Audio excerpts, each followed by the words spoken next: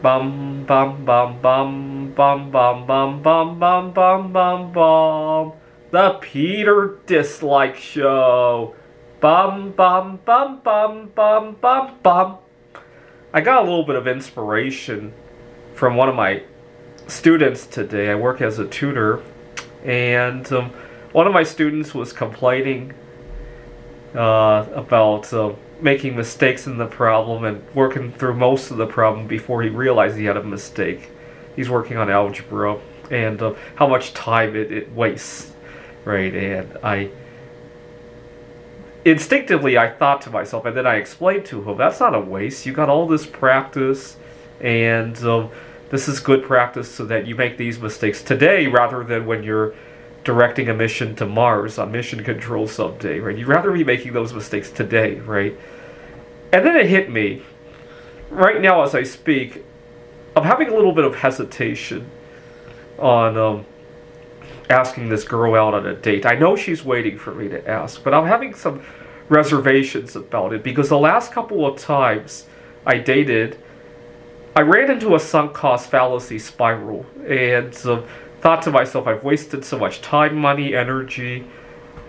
Because you got to remember, these days my time is very, very precious. Almost like, almost like how I play Bismuth is very precious. My time is like that because of uh, a Computer Olympiad conference that I'm going to, my Bismuth art projects, of juggling multiple jobs, and uh, papers that I'm writing, and also looking for that right person in my life. So I really can't afford to waste any of my time. So I, I spend so much time dating somebody, it becomes I gotta get something out of it. I gotta get something out of it.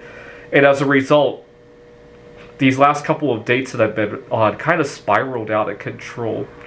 And so I've been having reservations about asking this girl out on a date. Now, earlier today, when I saw my student make that remark about wasting time, it hit me what I just said to him also applies to me, right? When I go out on a date and it doesn't work out, I didn't waste my time and money on her. I, I used it to gain knowledge for myself, right? And that's what you do to avoid falling into this downward spiral of sunk cost, right? Whatever you're doing, I used to have a friend who had a gambling problem, and I watched him chase his losses. He eventually lost everything. Fortunately, he was 21 years old. Everything wasn't all that much, but he lost everything. And so at any point, he could have said that this was a great experience. I made some uh, connections and I discovered what gambling is all about. I, I, I learned a lesson. At any point, he could have treated everything he spent up to that point as kind of like a tuition for that life lesson that he learned, right?